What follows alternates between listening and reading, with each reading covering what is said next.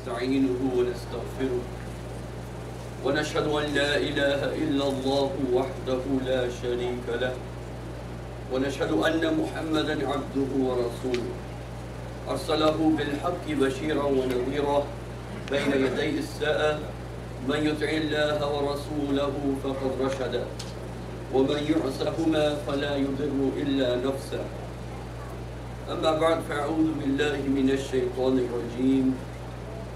بل بل هو قرآن مجيد في لوح محفوظ. وقال عز وجل إنا أنزلناه في ليلة القدر وما أدراك ما ليلة القدر. ليلة القدر خير من ألف شهر. تنزل الملائكة والروح فيها بإذن ربهم من كل أمر سلام هي حتى مطلع الفجر. رب اشرح لي صدري ويسر لي أمري واحلل عقدة من لساني يفقه قولي. اللهم أرنا الحق حقا وارزقنا اتباعه وأرنا الباطل باطلا وارزقنا اجتنابه آمين Today my lecture will be very important. So I will be saying things that some of you will find interesting, inshallah. But just to review before I move forward, I have been saying for the past few weeks and different times that this program of Ramadan that Allah subhanahu wa ta'ala has, the focus of this program is Quran. The month of Ramadan is the month in which we reveal Quran. Then in order to avail from this the benefit of Quran, in order to have the benefit of Quran, then Allah subhanahu wa ta'ala made us fast. Why? Because the result of fasting is taqwa. And the Taqwa is like Allah subhanahu wa ta'ala says, Ya ayyuhalladhina amanu kutiba alaykum as-siyam kama kutiba ala alladhina min qablikum la'allakum tattaqun. O you people who believe, fasting has been ordained for you like it was ordained for the people before you, so you will have taqwa. Taqwa is the ability to have willpower, to stop yourself or to be able to do what you need to do to be obedient to Allah subhanahu wa ta'ala. So taqwa is the willpower to do something. And I'll be talking about willpower in, in towards the end of the khutbah today. But this willpower is what you need, this taqwa and the fear of Allah with this. So the willpower on the other one side and the fear of Allah. Some God consciousness, some awareness, self-awareness of the existence of Allah subhanahu wa ta'ala. So when you have these two things together, the awareness or the mindfulness that Allah is there and He's watching you, and your ability to stop yourself or to be able to do what Allah wants, this is taqwa. This is why whenever Allah subhanahu wa ta'ala, most of the times in the Quran, whenever Allah gives a command, Allah says, ittaqillah. You know the dua, the ayat we use for marriage, also taqwa, taqwa, taqwa. Why? Because you're going to take on a responsibility. You should be aware that Allah is watching you. And also, you should have the ability to have the willpower to do what is right. When this willpower has been developed, then Allah says, okay, now read Quran. When you will read Quran and build a relationship with Quran, then obviously your life has to transform, has to change, to adopt to the will of the Quran or the will of Allah subhanahu wa ta'ala, will adapt to the will of the do's and the don'ts that are given in the Quran. So this is one aspect of Ramadan that I have talked about in some detail. And I have just summarized this. Now, from this point that I hope everybody here has now ingrained this in their minds. Now, today I'm going to take this further. I'm going to mention this point in the beginning and I'm going to mention this point in the end. And that is that on the one side, Allah subhanahu wa ta'ala is saying, شهر رمضان الذي أنزل فيه القرآن. The month of Ramadan is the month in which we have revealed Quran. And in the end of this month is Laylatul Qadr. Why? Why? You know, the first thing that Allah subhanahu wa ta'ala created, and this part of Quran is sometimes misunderstood, and I'm going to clarify this. The first thing that Allah subhanahu wa ta'ala created from the hadith of the Prophet sallallahu that are num- in many numbers is the pen. The first thing, when there was nothing, the first thing Allah created was the pen. And Allah subhanahu wa ta'ala told the pen to write. Now you'll say, why am I talking about this? It will become clear. And the pen wrote everything that was to be written. Everything that will happen from the beginning of creation to the end of creation, from the beginning of time to the end of time. And this tablet on which all everything was written, this tablet is called Lawh al-Mahfuz, the preserved tablet. Now you will be surprised when I tell you this. But this tablet that is the preserved tablet, which most people know about, it has a heart. It has a center. The center of this Lawh al-Mahfuz is Umm al-Kitab. إنه لقرآن كريم في كتاب مكنون لا يمسه إلا المطهرون So that preserved tablet, which is under the arsh of Allah subhanahu wa ta'ala, in it is also, it includes everything, so it also includes the books of Allah subhanahu wa ta'ala. And this is what Allah subhanahu wa ta'ala means when He refers to Al-Kitab as is His knowledge. For example, ما أصاب من مصيبة في الأرض ولا في أنفسكم إلا في كتاب من قبل أن نبرأها. No affliction comes on earth or to any individual except it's already written in a book before it happens. إن ذلك على الله يسير. It's so easy for Allah. Everything that is written happens. Now I'm not going to talk about destiny and, and, and the, uh, the, the issues, the, the philosophical issues of destiny. This is not the topic today. In another place, Fir'aun said to Musa alayhi salatu wasalam, فَمَا بَالُ الْقُرُونِ الْأُولَى Oh, you're come here to give me guidance and telling me what is truth, but what about the people before us? What about our forefathers? They didn't have this guidance. So Musa والسلام, answered, عِلْمُهَا The knowledge of it is with Allah in the book. يعني in the, Allah has written everything and everything in Lawhul Mahfuz. لا يضل ربي ولا ينسى. My Allah doesn't forget anything. He doesn't make any mistakes. This is all in the preserved. Then I read the ayah to you. إنه لقرآن كريم بل هو بل هو قرآن مجيد في لوح محفوظ. This Quran is also, Allah says, but no, this is in a preserved tablet. This Quran is also in a preserved tablet. في لوح محفوظ. So your destinies which come down on Laylatul Qadr are Lahul Mahfuz. And the Quran which comes down or which has come down to Prophet Muhammad is also in Lahul Mahfuz. What is the relationship between the Quran coming down from Lahul Mahfuz and your destinies that are written for you coming down in Lahul Mahfuz? Allah gives you one month. Why the heart is the Quran of this Lahul Mahfuz? Ummul Kitab Ladayna is what Quran calls it. It's the mother book. In this tablet, there are many books. Every person is a book. Every creation is like a book. And its nature and its destiny and what will happen. It's a book in this Lawh al-Mahfuz. Like a book, you know, there are many surahs. Every surah is like a book. Quran, when Allah Himself says Al-Kitab, many times Allah refers to the surah, not to the whole book. So, this is why Allah subhanahu wa ta'ala says, the beginning of Surah Al-Qadr is about the Quran. The last two verses are about your destiny.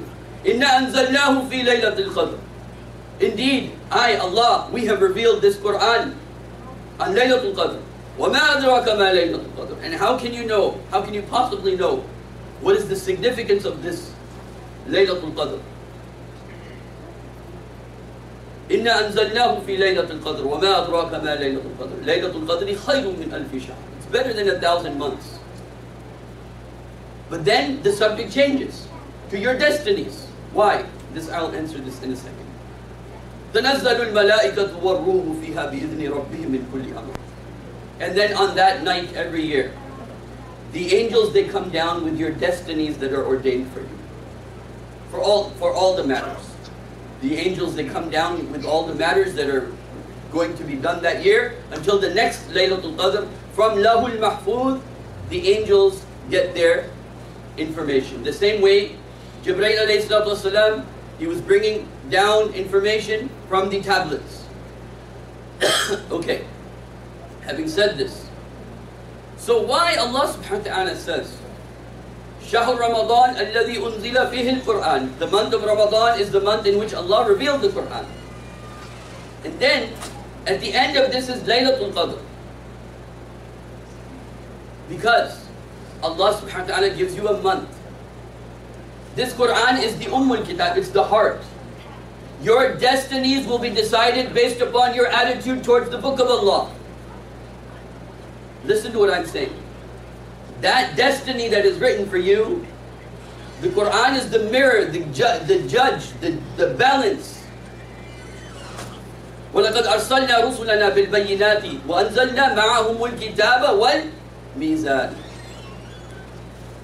This Quran is the mizan by which your destinies will be judged. The Prophet ﷺ said, إِنَّ اللَّهَ يَرْفَعُ بِهَذِهِ أَقْوَامًا وَيَدْعُ بِهِ آخَرِينَ The Prophet ﷺ said, nations will rise because of this Quran. This Quran is the criteria by which we either go up or we go down. I've mentioned this more than once. Whenever Muslims were close to Quran, whenever they held on to Quran, they went up. Whenever they left Quran, this is our history, like mubayyana, clear history, which you can read our history and see as our relationship with, with, with, was to Islam, whether we were a few in number, and if we, our relationship with Quran was good, we went up. If we were many in number and our relationship with Quran was bad, we went down. Your destinies will be decided based upon the mirror of how you acted according to the Quran. Allah subhanahu wa ta'ala says in the Quran, أَفَتُؤْمِنُونَ بِبَعْدِ الْكِتَابِ وَتَكْفُرُونَ بِبَعْدِ Do you accept a part of my book? أَفَتُؤْمِنُونَ بِبَعْدِ الْكِتَابِ وَتَكْفُرُونَ بِبَعْدِ You accept a part of my book? My part of my laws? Part of my sharia? وَتَكْفُرُونَ بِبَعْدِ Then you reject the other parts. فَمَا جَزَاءُ مَنْ يَفْعَلُ ذَلِكَ مِنْكُمْ إِلَّا خِزْيٌ فِي الْحَيَاةِ الدُّنْيَا Then what will be the reward of that attitude? If you take this attitude with my book, then I will have no reward for you. إِلَّا خِزْيٌ فِي الْحَيَاةِ الدُّنْيا You will be humiliated in this life. You can have the most educated people. You can have all the oil and the resources under your feet.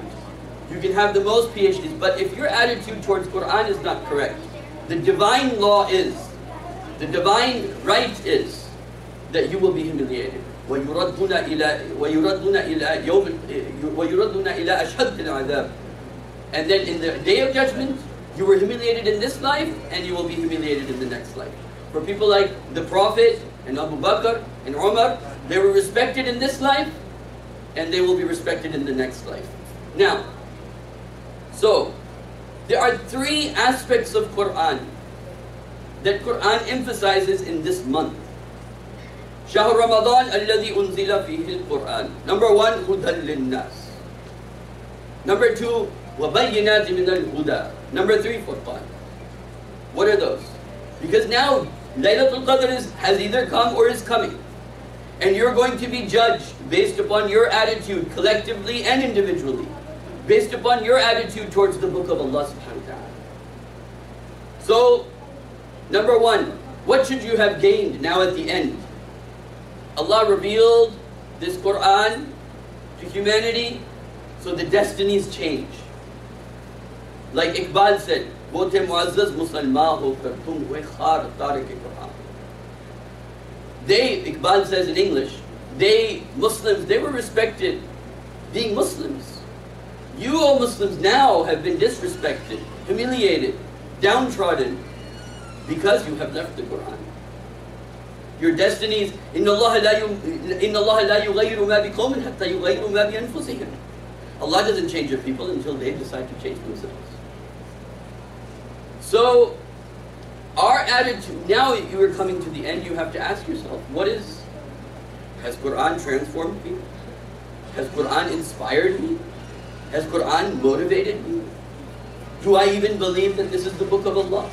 Have I even read the translation, just a mere translation, from the beginning of the book to the end? If you haven't been inspired by the book of Allah, it's amazing to me, actually, that somebody believes something is the book of Allah and has not been inspired by it. It's so amazing that how that can happen. So, try now in the last few days to be inspired. Read the book of Allah. Build a relationship with Allah. Build a relationship with the book of Allah subhanahu wa ta'ala. Because this is the book that if it inspires you, destinies will be changed. Allah brought down the Quran to change destinies. Inna anzalnahu fi laylatul qadr. We revealed this Quran on the night of Qadr. This is the night of Qadr where things can change. So, let me now go to the next point that I wanted to do, which is I wanted to go over. I have actually three subjects that I want to touch. Number one, since we are now finishing the Quran, let me go over some of the major themes of Quran in a short summary. What are some of the themes of Quran? Number one, the call of Quran. What is the call of Quran? The call of Quran is يا أيها الناس اعبدوا ربكم الذي خلقكم والذين من قبلكم لعلكم O you people who bel- O you people, O mankind, all mankind, اعبدوا ربكم Become slaves to Allah. Allah wants you to become His slave fully and totally. submit to Him. You know, Allah subhanahu wa ta'ala has given no promises. If you accept Islam, you're gonna have everything will be easy for you. No. But it's the opposite.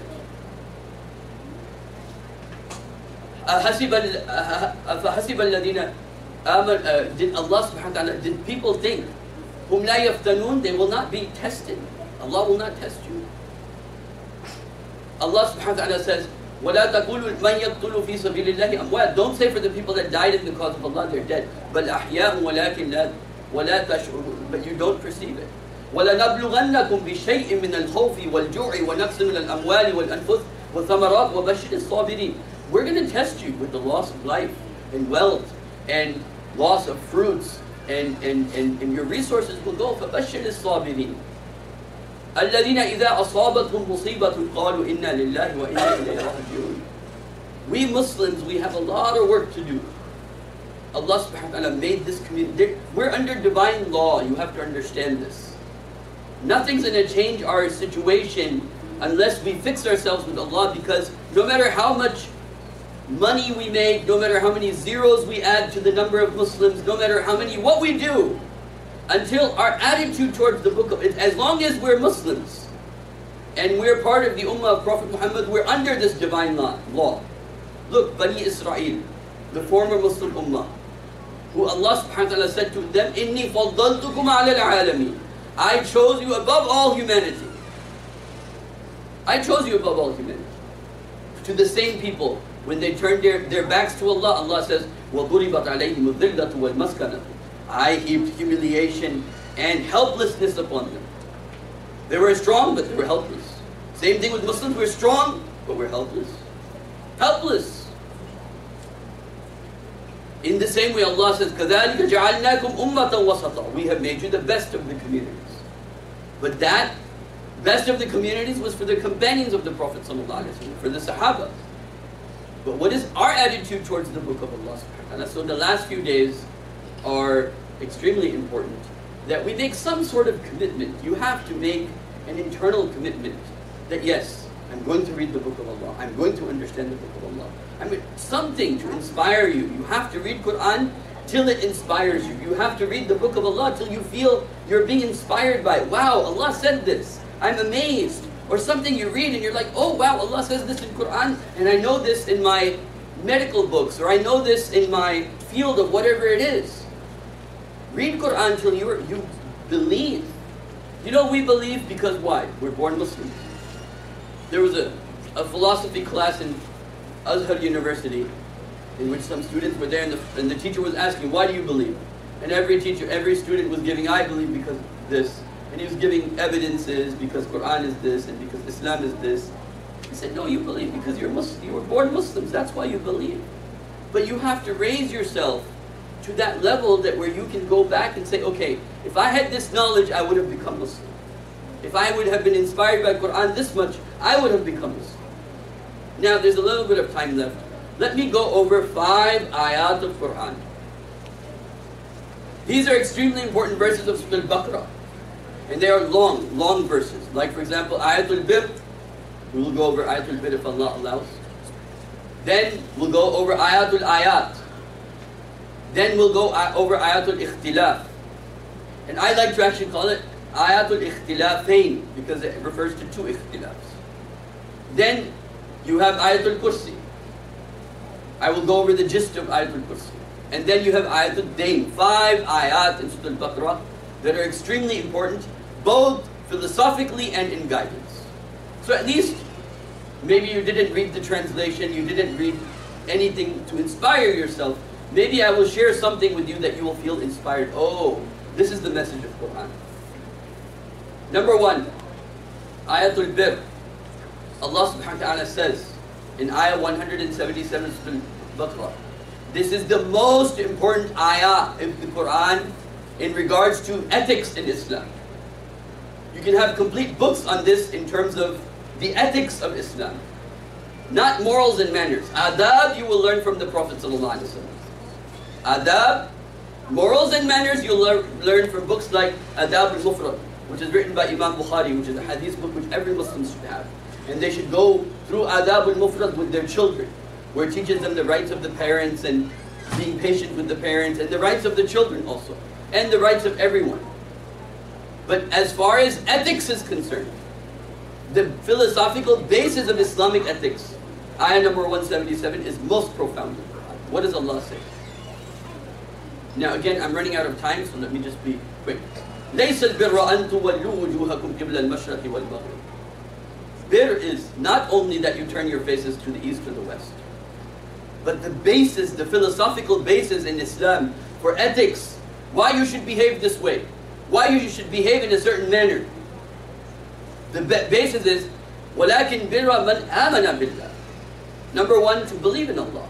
You, if you're doing good, you have to be doing good for something. Like Allah subhanahu wa ta'ala says in the ayah previous to that. لِكُلِّ لِكُلِّ Allah subhanahu wa ta'ala says uh, uh, that for everything there's a goal. I mean, you're doing good for what? So, مَنْ آمَنَ بِاللَّهِ وَالْيَوْمِ الْآخِرِ And the day of judgment. There's no right and wrong if there's no day of judgment. If no one's going to take your accounting, there's no right and wrong. There's no, there's no basis to have a reason of right and wrong if there's no day of judgment. So, لِكُلِّ وَجْهَةٍ هُوَ مُوَلِّيهَا For everything there's a goal. فَاسْتَبِقُوا الْخَيْرَاتِ أَيْنَمَا تَكُونُوا يَأْتِي بِكُمُ اللَّهُ جَمِيعًا So, first is you believe in Allah. You believe in the attributes of Allah. He's Rahim, He's Kareem. So you can have those qualities yourself, like the Prophet said, sallallahu alaihi wasallam. Put into yourself the qualities of Allah. Then believing in the day of judgment. من آمن بالله واليوم الآخر والملائكة and the angels. I won't go into the angels yet, but this is a very important part of our ethics. You believe there's an angel on your right and the angel on your left. He's writing down everything you're doing. والملائكة والكتاب and the book.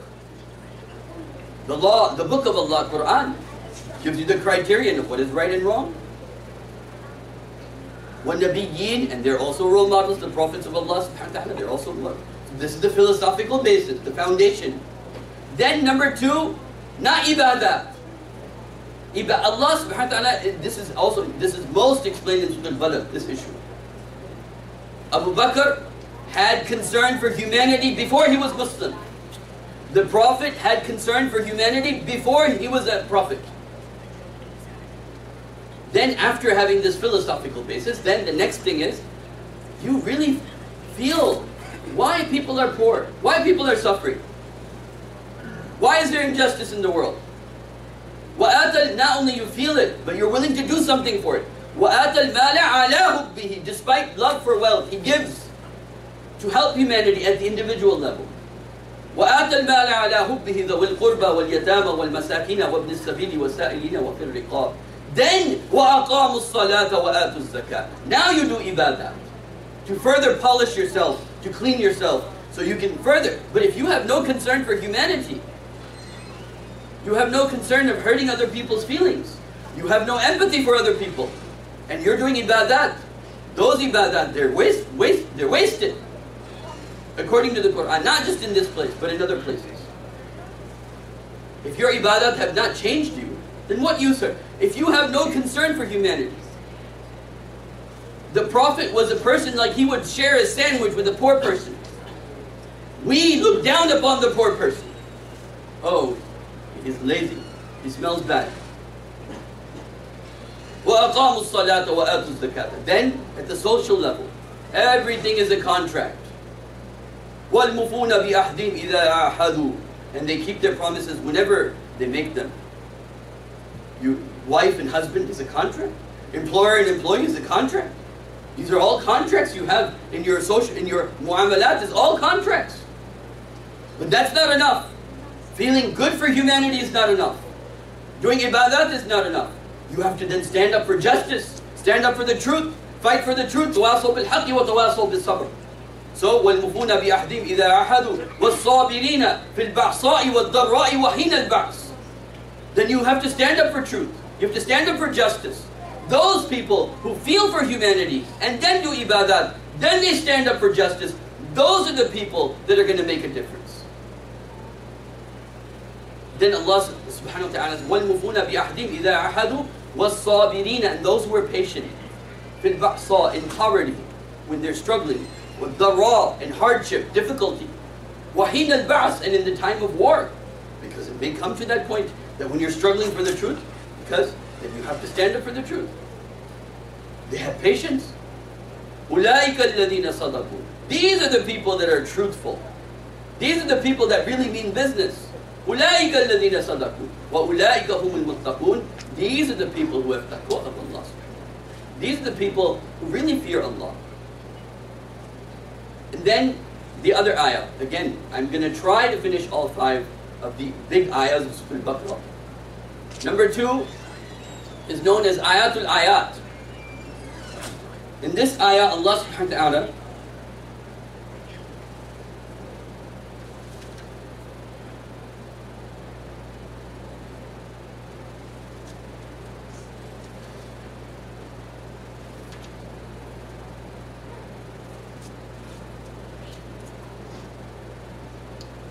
In this ayah, Allah subhanahu wa ta'ala counts his ayat, his signs. So this is one thing. What is bir? What is righteousness? You can be an alim, but if you don't have the things in that ayah that I just mentioned, you're not a righteous person. You're not righteous. Nek, just Urdu mein nek kehte. Neki. You're not righteous, you're not virtuous if you don't have those qualities. Then, number two, theme of the Quran that we should leave Ramadan with. إِنَّ فِي خَلْقِ السَّمَاوَاتِ وَالْأَرْضِ Indeed in the creation of the heavens and the earth.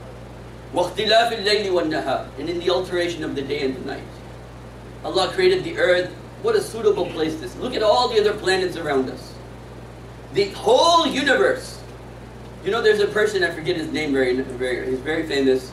He used to have a program on universe um, on PBS. He's a professor. He is an atheist for this very reason. The whole universe is not conducive to life. His point is, the life is life is not conducive in the whole universe except for Earth, and so it's by chance. But the same argument, the, the, the, the, the data is correct, the conclusion is wrong. The whole universe is definitely not conducive to life. But the fact it is conducive on Earth shows that maybe, not maybe, but there's definitely, there's a superpower because there's too many probabilities that go on to make this happen. So first, inna fi khalqis samawati wal ard. Indeed, in the creations of the high skies and the earth. وَاخْتِلَافِ اللَّيْلِ وَالنَّهَارِ In the alteration of the day and the night. In the daytime, you have a blue sky. You know why they have a blue screen on your computer? Because it's soft for your eyes. Imagine if we had a, a, a brown, a red sky like Mars. How, how much they would be in pain in our eyes from seeing that color. Green and blue, the most soft colors for the human eye. In the alteration of the day and the night, perfectly set day and night in motion in such a way that, you know, uh, both in terms of weather, because look at the planet like Mercury. It goes too slow, it gets too hot. It, you have a full 24 hours in which you can actually function and rest, function and rest properly. إن في خلق السماوات والأرض واختلاف الليل والنهار والفلك التي تجري في البحر بما ينفع الناس and look at the ship, the big ships. Fulk is big ships. Safina, Safina is a small ship. The big ships that travel for everything that human beings get from this earth is a benefit. So we trade. You dig the earth, you get oil, minerals, copper, iron, so on and so forth. Which for whose benefit? Is all there by chance? Human being is on earth like he belongs on earth. It's not just, you know, because the earth is separate and the earth is separate. How did the two come together and totally suitable for each other? So, والفلك التي تجري في البحر بما ينفع الناس وما أنزل الله من السماء ماء من ماء فأحيا به الأرض بعد موتها and then Allah reveals sends down the rain and then there's a whole system of the water cycle and the nitrogen and all these different cycles that are going on that keep life going and progressing. وَبَثَّ فِيهَا مِن كُلِّ دَابَّةٍ And Allah put on earth every dabba, every moving creature is on earth, no other planet. You might have bacteria there. But moving creatures are on earth. وَبَثَّ فِيهَا مِن كُلِّ دَابَّةٍ وَتَصْرِيفُ الرِّيَاحِ And in the changing of the air. وَالسَّحَابِ الْمُسَخَّرِ And in the, in the clouds that are controlled by Allah to move in a certain direction. بين السماء والأرض, moving in different uh, heights as they go around the earth. لآيات لقوم يعقلون And this are signs for people who have understanding, that they're willing to take understanding into their mind. Not in terms of intellect, but they are able to reflect and to be able to tie themselves to something. So Allah says, look at my creation, look at my world. So you know what's interesting about these uh, two ayahs put together? There was a philosopher by the name of Kant. Kant. He wrote a book. And in this book he said, you can't prove God. You can't prove it. And then you know the Christians were strong at that time in England, not like today, where there's no one going to churches in Europe. So there was an uproar. Why did you write this book? Against the philosopher. Then he wrote a book against his book. The name of the book I'm forgetting right now, it's called uh, Critique of Pure Reason. The name of the book is Critique of Pure Reason. He said, yeah, you can't prove God except for two things. The moral law within.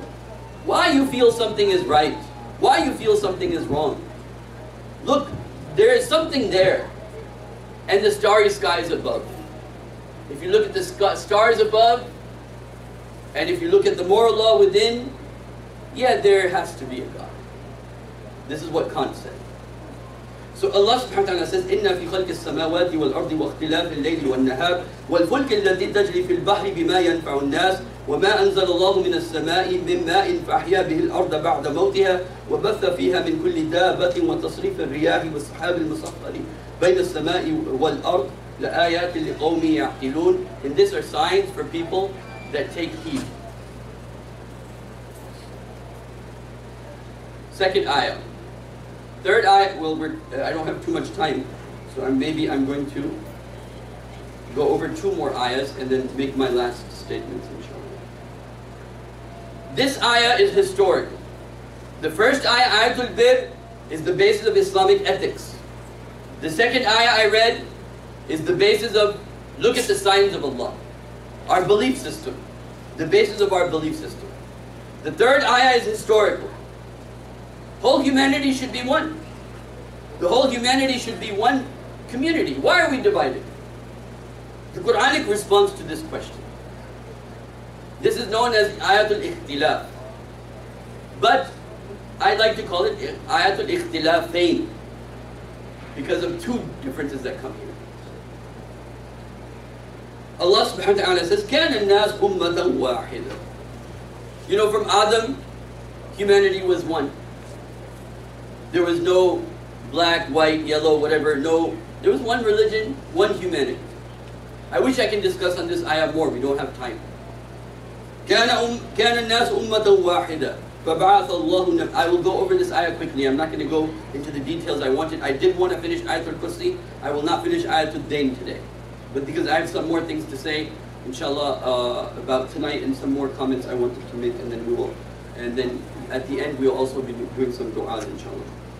كان الناس أمة واحدة فبعث الله نبيين مبشرين ومنذرين. Then Allah raised prophets amongst the people to give them uh, good tidings If you do good, good will happen. If you do bad, then there's a warning. وأنزل الله معهم الكتاب بالحق. And Allah sent down the books. Why? ليحكم بين الناس. So then those books that were coming down early on, they were deciding the affairs between the people for what they differed. ليحكم بين الناس فيما كانوا فيه يختلف في فيما اختلفوا فيه. For the things that were differing in, the prophets came with books and said, okay, this is the end. But some people, they did, how did we become divided in the beginning of history? And then this is now continuing. وما اختلف فيه إلا الذين أوتوه من بعد ما جاءتهم البينات.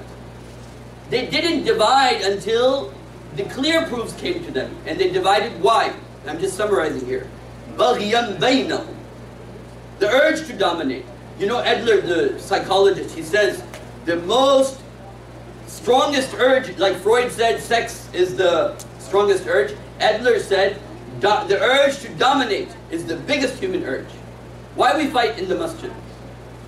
Why we have conflicts? Urge to dominate, urge to dominate, urge to dominate. And I'm wonderful. My opinions are wonderful. What I want is wonderful. I am just wonderful. Baghiyam bainahu. Because, because of baghi, me, I, me. Baghiyam bainahu. This, then, they got, became divided. Allah says over and over again in Quran, people became divided after knowledge came to them. وما تفرقوا إلا من بعد ما جاءتهم البينات. They became divided after knowledge came to them. Before that is a different issue. But we became divided after knowledge came. Then Allah says, فَهَدَى اللَّهُ الَّذِينَ آمَنُوا لِمَا اخْتَلَفُوا فِيهِ Then Allah guided humanity in the things that they differed. Allah subhanahu wa ta'ala in Surah Shura says, وَمَا اخْتَلَفْتُمْ فِي شَيْءٍ فَحُكْمُهُ إِلَّا اللَّهِ There's nothing that you differ in, except the hukm of, of it is with Allah. فَمَا اخْتَلَفْتُمْ فِي شَيْءٍ فَحُكْمُهُ إِلَّا اللَّهِ There's nothing that you differ in, except the command of it, of what to do, is with Allah. I'm going to skip the rest of the ayah and go to Ayatul Kursi, and then I have some few comments to make. I'm sorry I will be taking longer today than usual, but it is the last Friday of Ramadan and I want to make it significant. Ayatul Kursi. What is the message of Ayatul Kursi? He is Allah. Allahu la ilaha illa huwa al-hayyul qayyum. This part everybody understands. He is al-hayy, life comes from him. Al-qayyum, he is controlling the universe. But the main point is wasi'a kursiyu samawati wal ard. The authority belongs to Allah. Other people are playing God, pretending to be God. No, وَسِعَ the, the kursi, the authority belongs to Allah. وَسِعَ كُرْسِيُ السَّمَاوَاتِ وَالْأَرْضِ ولا يعوده حفظهما وهو العلي العظيم Then what Allah says قد تبين الرشد من الغي The truth is clear from falsehood ومن يكفر بالطاغوت Who is طاغوت? طاغوت are those that, that play God وَمَنْ يَكْفُرْ بِالطَّاغُوتِ وَيُؤْمِنْ بِاللَّهِ You have to reject those who play God or pretend to God, then come to Allah. You know you have the Kaaba and the idols around the Kaaba, you have to throw away the idols first, then go to the Kaaba.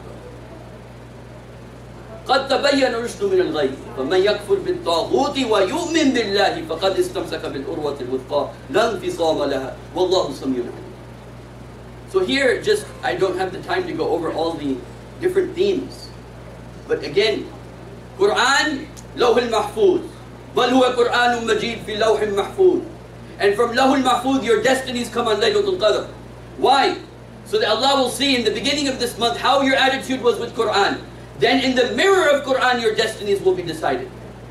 إِنَّ اللَّهِ يَرْفَعُ بِهَذِهِ أَقْوَامًا وَيَدَعُ بِهِ آخَرِينَ The Prophet ﷺ said, Allah will raise nations because of this Quran. And Allah will throw down nations because of this Quran. Quran has, as I demonstrated to you in the short amount of time we have, beautiful themes like this. Beautiful themes of ethics, of the, the principles on which we can know Allah subhanahu wa ta'ala that He really does exist. The principles of what is justice and not justice, how human history from the Quranic perspective. And we we just wrap the Quran and put it up.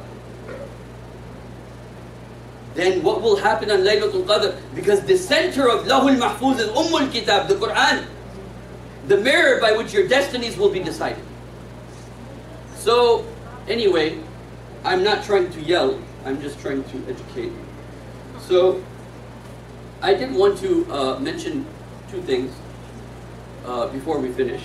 Number one, this Ramadan I saw a lot of people, meaning the community was here.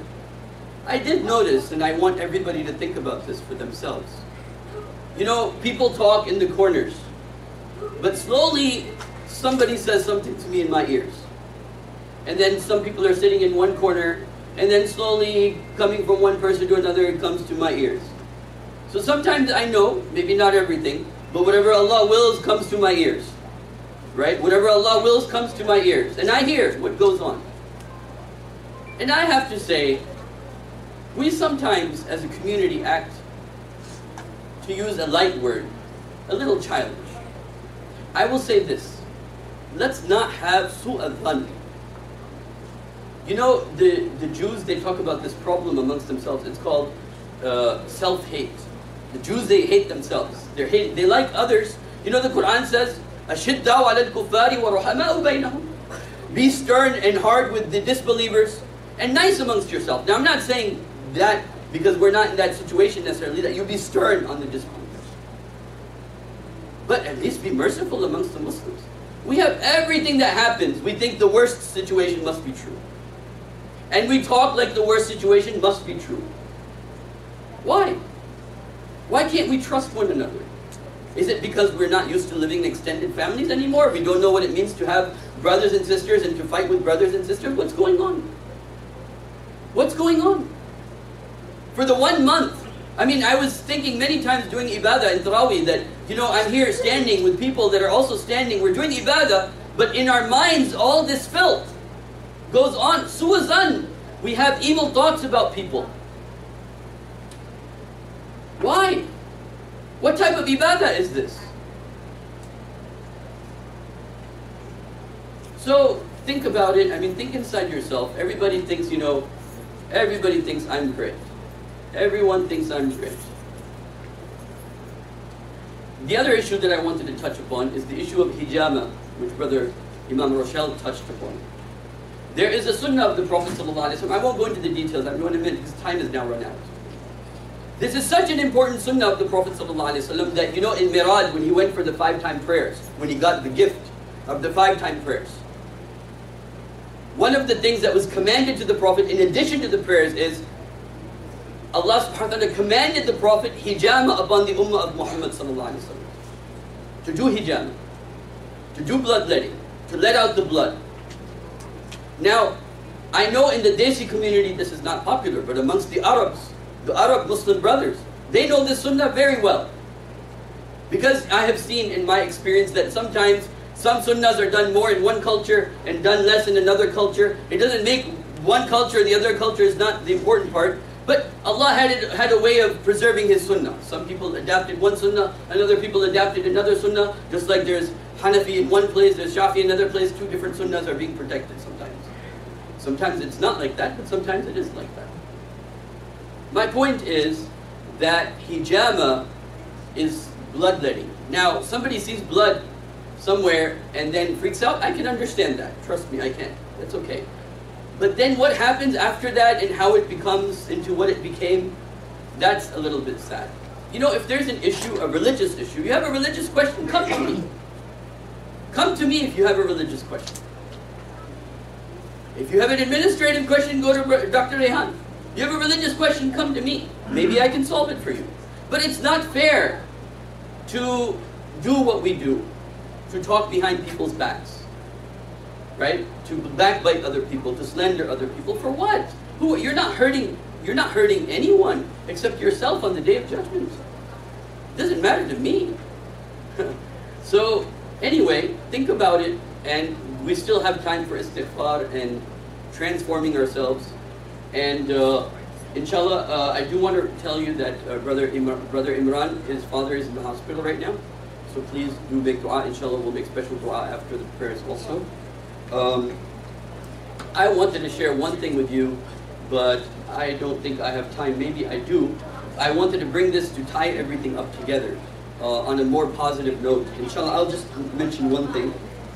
Um, this is about willpower. This book is on willpower. And uh, just wanted to share one thing with you. It says, amongst the many studies he's going on, other studies have found that committing to anything small, like salah, you commit, I'll pray five times a day. How does it improve you? Committing to anything small, consistent act of self-control, whatever it is, will do what? Can increase your overall willpower. And then he goes into the different studies that show this. Islam gives you structure. Why? Fast. Why? Salah. Why? This is bayinati min al-huda. That second part of Quran. The, one is the guidance. But one is the wisdom of guidance. You see Hajj. Hajj doesn't tell you, Hajj doesn't say to you, this is to show equality of humanity. And to show United Nations of the Muslims. We're all Muslims. This is the real United Nations. Where five million people from different parts of the world are coming together. The Quran doesn't tell you, or Sunnah doesn't tell you. extrapolate from the concrete, from the act. Oh, this is the wisdom of this. So Quran wants us to have a strong willpower. And because it has commands, because Quran has commands, therefore it has to help you build these this willpower to enact those commands. So you take anything five times. So I'm saying leave this Ramadan. If you used to come here every day, come at least every week. If you if you came here once a month, if you used to come here only Saturday, Sundays, come here at least, you know, once a month. Make some commitment. Make a commitment and have a goal. Nothing can ever be achieved if you don't have a goal. You have to make a commitment and have a goal. Okay, I will do this. And you have to see a future self. You have to see yourself doing something in the future. And you have to commit to it to be able to make that change. It shouldn't be that, okay, I know Ramadan, and the future yourself you see of yourself is not becoming better after Ramadan. It's like going back to default. If you go back to, oh, I'm going to go back to playing, then your future self is not, if you're, you know when a person's really changing? When the future self they see is different. When you're in college, you see yourself graduating and applying for jobs. If you don't see a future self that's different from your now, you're not going to change. Sorry. Anyway. So may, may Allah subhanahu wa ta'ala uh, uh, give shifa to Brother Imran's father. اللهم تجعل القرآن ربيع قلوبنا ونور صدورنا اللهم اغفر لنا اللهم تجعل خلافة المسلمين في هذه الأرض اللهم اغفر لنا وارحمنا اللهم إنك عفو تحب العفو فاعف عنا اللهم صل على محمد وعلى آل محمد كما صليت على إبراهيم وعلى آل إبراهيم إنك حميد مجيد اللهم بارك على محمد وعلى آل محمد كما باركت على إبراهيم وعلى آل إبراهيم إنك حميد مجيد آمين يا رب العالمين Just two announcements more. We'll make dua for Brother uh, Imran Shokat's father. Uh, but today, after Tarawih prayer, I'm going to go over Surah Rahman, Surah Al-Mulk, Surah Al-Waqi'ah, and Surah Yasin. If I can, I will try to finish the just a fast pace. Fast, not tafsir, fast pace, but showing you the connections of the verses of the Quran of these surahs. And then on Saturday, I'll choose something from the 30th juz. Number one. Number two, after Jummah, we have a question answer session for the sisters. Uh, me and Imam Rochelle will be here to answer any questions you have. Uh, إن الله يأمركم بالعدل والإحسان وإيتاء ذي القربى وينهى عن الفحشاء والمنكر والبغي يعظكم لعلكم تذكرون اذكروا الله يذكركم فاستجب لكم فأقيموا الصلاة.